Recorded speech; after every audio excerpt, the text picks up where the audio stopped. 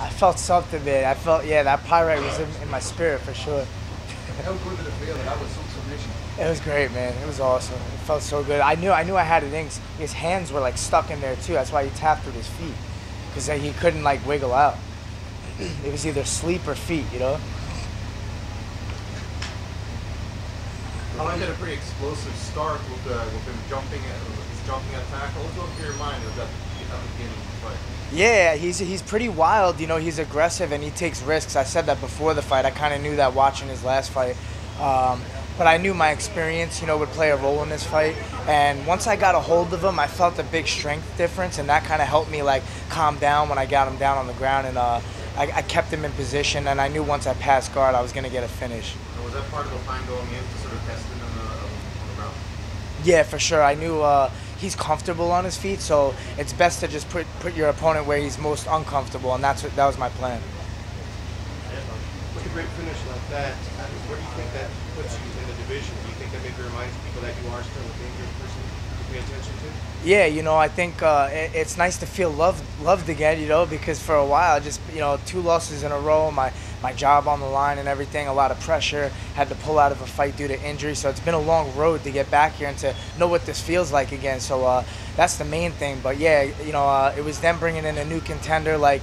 Who's here to stay? Are we bringing the new guy in, or is this guy still good to go? And uh, I proved my point. Do you think maybe those tough times may have helped you in any way? Just like strengthening your resolve or anything like that? Yeah, definitely. I feel like uh, the mindset in this game is hard to keep consistent all the time. You know, I've been doing this for a long time, 30 pro fights now. Uh, you get burnt out sometimes, and you you know you come off some losses, and you have to reevaluate and see like you know do I want to keep doing this? I'm 33. Can I can I make it to where my vision was to the top? You know, but uh, this is all I know. So I knew uh, I had to get a win tonight and, and keep my stay. Well, I mean, how do you go about reaching goals? Like, what fight makes sense? What fight next? You're saying? Uh, I would like to fight April 18th in Brooklyn. I think that makes perfect sense. You know, three months time.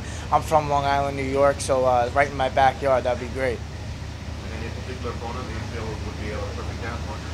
I hate wasting a call out. I would I would like to fight Sean O'Malley. I think that guy's got a lot of hype behind him. I could steal some of that, and uh, you know uh, we can move on from there. But I know he's booked in February, so it's hard to kind of gauge that. You know, if he gets a quick win and can rebound, then I think we could fight in April. Ron, you, you rap as well, don't you? Like, I mean, is that your pastime or is that like something take you away from clear your mind from it? How, how long have you been doing that? Yeah, that's just something I do more like a hobby type of thing. But I do uh, write a lot. You know, I've been writing for a while, and I just kind of do it like for fun. It's like therapeutic for me to do something to break up the day in between training and stuff like that. And, and like, is that is that something like you want to take further as a career, or is it always fighting is your main main career? Fighting's my main thing, but I would love to. You know, I think uh, T Woodley needs to come see me, man, because uh, people are people are saying Boom is the best rapper in the UFC for sure. So you, you're challenging Tyron Woodley to a rap battle. Is that what's happening here? I don't know if it's a rap battle, is that a freestyle? Because that's a little different. But I'll challenge him to like who can make the better song. I like. Pyrite, baby.